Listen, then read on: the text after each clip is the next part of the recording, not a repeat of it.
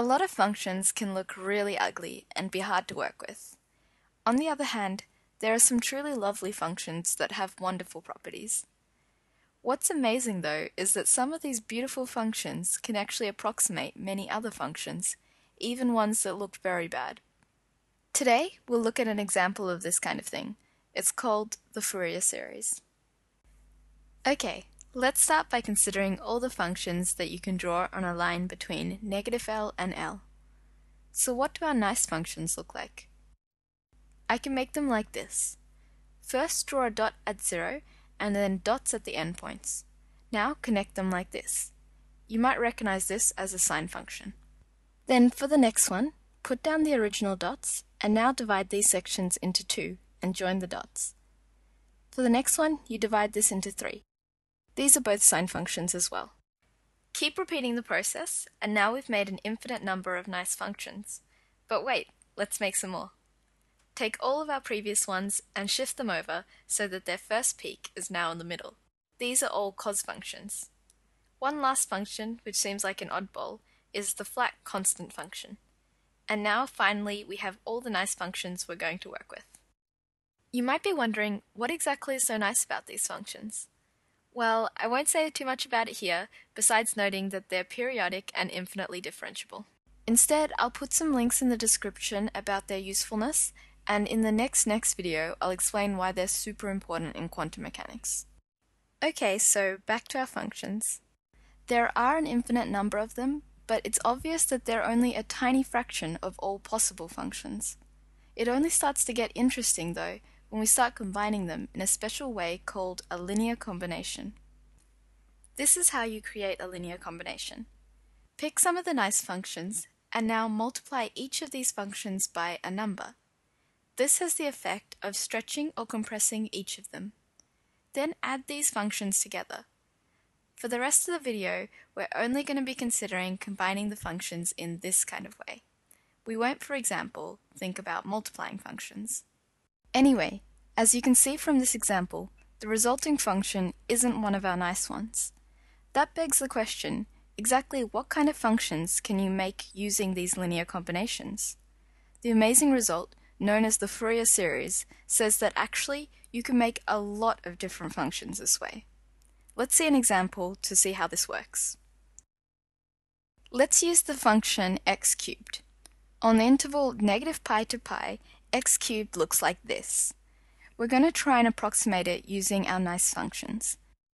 The Fourier series tells us what coefficients to use in our linear combinations.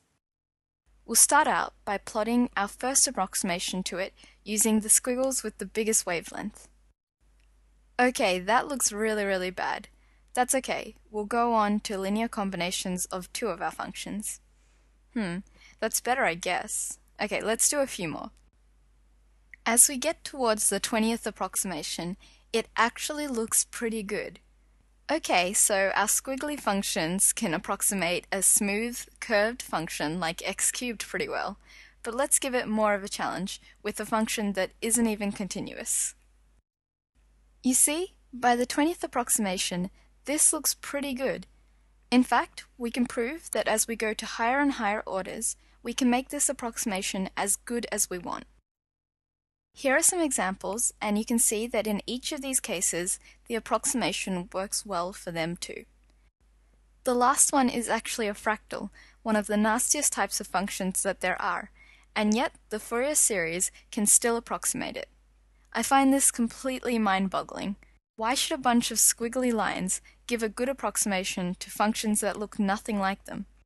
I have no idea. What's even cooler is that this version of the Fourier series is merely a special case of an even more powerful one.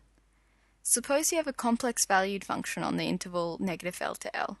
By that, I mean a function that only takes real numbers between negative L and L as inputs, but returns complex numbers. The general version of the Fourier series can even approximate those kind of functions. Here's how. First, we need a new set of nice functions, because our old ones are all real valued, and that won't do for this. This is how we create our new ones. To make the first one, take the two biggest squiggling functions and multiply one of them by the imaginary number i, and then add them together. You might recognize this as the complex exponential function. Do the same thing with the next two, and you'll see that this is another exponential with a smaller wavelength. And of course, we just repeat this process forever to get the rest. So these are our new nice functions. To approximate a function, real or otherwise, with them, we do the exact same thing as we did before. We take linear combinations. This version of the Fourier series will tell us what coefficients to use. For real-valued functions, the approximation is exactly the same as if we did it with the original Fourier series. Here's an example of a complex function being approximated. So that's what the Fourier series is about, approximating functions. But we only thought about approximating functions on the interval. What about if we want to approximate a function on the entire real line? Well, that's where the Fourier transform comes in, and if you're interested in knowing about that, then I will see you in my next video.